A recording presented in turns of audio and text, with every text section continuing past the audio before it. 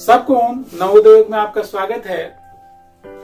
कभी कभी हम सोचते हैं कि एक ऐसा नेक काम है, जिसकी बहुत सारी अच्छाइयों से तुलना नहीं हो सकती है, जो बहुत ही अच्छा काम है और सृष्टि में खुशियों का वर्धन करने वाला है, लोगों को सुख देने वाला हो ऐसा काम।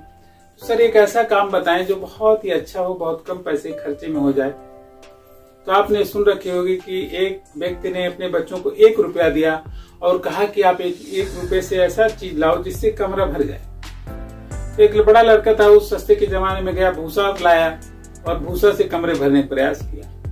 पूरा कमरा नहीं भर पाया। और एक लड़का गया उस जमाने में एक पैसे में कैंडल मिलती थी।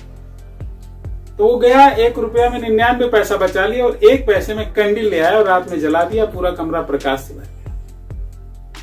तो क्या ज्ञान के समान कुछ भी नहीं है? वैसे एक बहुत सस्ती चीज़ आपको टिप्स ज्ञान दे रहे हैं जो बहुत अच्छा है। वह सस्ती चीज़ क्या है? चीटियों को चारा देना।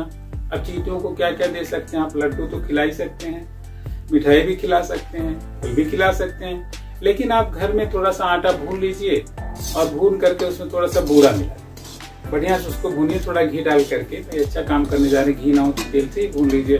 और वो भी ना हो तो वैसे ही थोड़ा सा भून लीजिए और उसमें थोड़ा सा बूरा मिला लीजिए अब बुरा मिला करके क्या करना है? भाई, चीटियाँ बहुत सारी हर जगह रहती हैं। आपके घर में भी होंगे, आपके आसपास होंगी, कहीं जाइए बाग में होंगी, कहीं थोड़ा बंजर ज़मीन है वहाँ पर होंगी, बहुत सारी जगहों पर होंगी। अब वहाँ पर जाए, चीटियों को बिलूँगा उससे थोड़ा सा झुके और सम्मान के साथ चीटियों को खिला दें।